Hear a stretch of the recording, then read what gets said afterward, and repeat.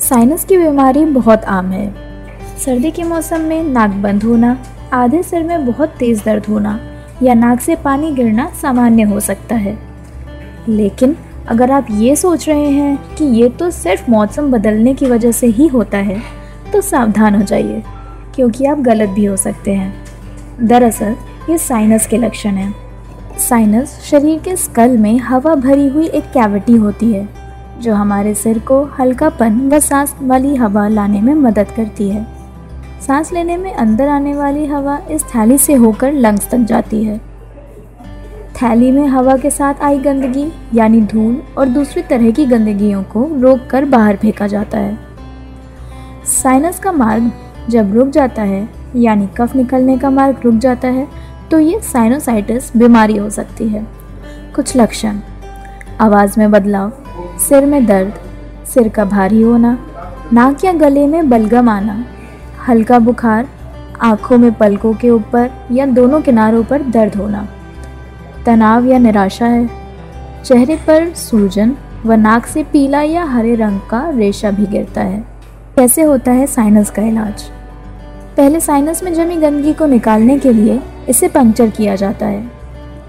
दूरबीन चिकित्सा मेथड से साइनस के दरवाजे को चौड़ा कर दिया जाता है। साइनस की बीमारी के शुरुआत में दवाइयों से इलाज संभव है, लेकिन अगर वक्त रहते इसका इलाज ना कराया जाए तो ऑपरेशन कराना ज़रूरी हो जाता है। अक्सर ये देखने में आता है कि कई लोग सर्दी हो जाने को सामान्य बात समझते हैं और इसे अनदेखा करते हैं। सर्दी तो अक्सर तीन चार दिनों में ठीक हो जाती है लेकिन इसके बाद भी इसका संक्रमण जारी रहता है। अगर नहीं चाहते हैं कि साइनस ऑपरेशन की स्टेज तक पहुँचे तो सावधानी बरतना समझदारी का काम है। साइनस से बचाव के उपाय। स्टीम बारी बारी दोनों नाक साफ़ करने के बाद एक बर्तन या स्टीमर में लगभग 300 मिलीलीटर पानी लेकर उबलने तक गर्म करें।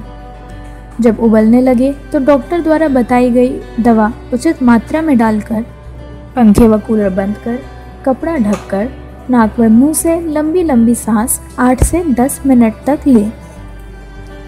सिकाई। गर्म कपड़ा या फिर गर्म पानी की बोतल गालों के ऊपर रख कर सिकाई करनी चाहिए। ये प्रक्रिया लगभग एक मिनट के लिए दिन में तीन बार करनी चाहिए। इससे काफ़ी आराम मिलता है। नाक की सफ़ाई। नाक की सफ़ाई करने से भी सिर दर्द कम करने में काफ़ी मदद मिलती है। माना जाता है कि नाक की झिल्ली पर अनेक प्रकार के वायरस हैं।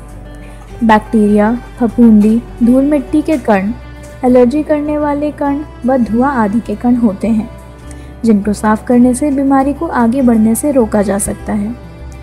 नाक को साफ़ करने के लिए आधा ग्लास गुनगुना पानी लेकर उसमें एक चम्मच मीठा सोडा या एक चुटकी नमक मिलाना चाहिए।